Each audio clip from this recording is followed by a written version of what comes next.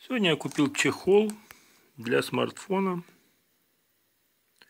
Redmi A1 или A2 підходить.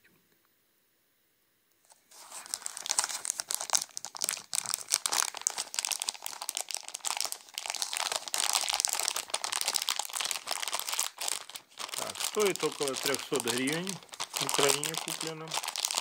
Это где-то около 6 долларов.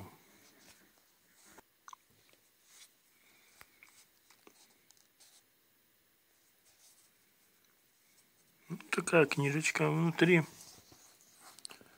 Прокладочка такая есть. Ну, не знаю, надо ее снимать, не надо.